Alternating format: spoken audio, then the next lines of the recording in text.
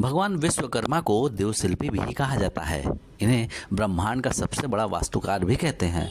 हर साल 17 सितंबर को उनकी जयंती मनाई जाती है। इस बार मंगलवार के दिन भगवान विश्वकर्मा की जयंती है। इस दिन को विश्वकर्मा दिवस के नाम से भी जाना जाता है।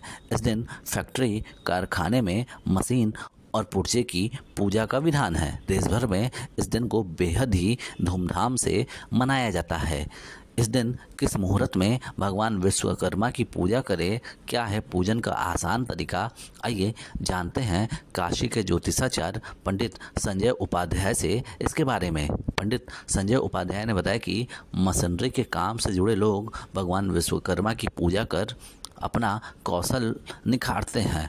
आमतौर पर फैक्ट्री, कारखाने और मशीनरी के काम से जुड़े स्थल पर लोग इनकी पूजा करते हैं। पंचांग के अनुसार, इस बार 17 सितंबर को भगवान विश्वकर्मा के पूजन के लिए सुबह सात बजकर इक्कीस मिनट से ग्यारह बजकर बयालीस मिनट तक का समय सबसे शुभ है। इस मुहूर्त में ही भगवान विश्वकर्मा की पूजा करनी चाहिए।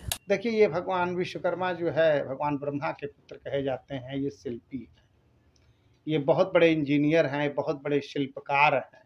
जितने भी गृह निर्माण आप देख रहे हैं, रोड निर्माण आप देख रहे हैं, नगर का निर्माण आप देख रहे हैं, ये सब जो है, आपके महान शिल्पकार जो है, विश्वकर्मा जी करते हैं।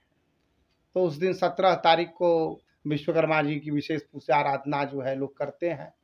जिस दिन कारीगर लोग, जो व्यापारिक कारीगर जो होते हैं, जो कारीगर का बिज़नेस करते हैं या मशीनरी का बिज़नेस करते हैं, वो लोग जो उस दिन विशेष पूजा करते हैं। अगर छोटे रूप में करना चाहें तो घर में चित्रपट स्थापित कर ले, या तो छोटी सी मूर्ति ला करके विधवत उनकी जो है पूजा अर्चना करें, पंचामृत से स्नान करावें, उनको दूध, दही, चीनी, सहज से।